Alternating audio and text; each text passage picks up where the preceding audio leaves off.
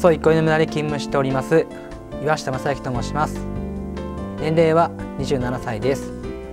住所は中通りに住んでおります。仕事の内容は、えー、主にレストランや宴会の接客を行っております、えー、仕事で日頃から心がけていることはお客様に対して丁寧に言葉丁寧な言葉遣いをかけることです、えー、趣味は映画鑑賞で特技は絵画です。好きな言葉は一期一会です。好きな女性のタイプは笑顔が好きな人です。阿蘇市の好きなところは、えー、自然が豊かなところが大好きです。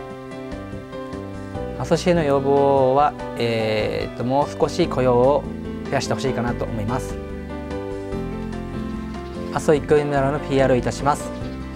3月に向けて当館では広大な芝生を使ったグランドゴルフ大会やまた、えー、その脇にある桜の見頃となりまして屋外でもバーベキューが、えー、行うことができまして大変これからいい季節となっていきます。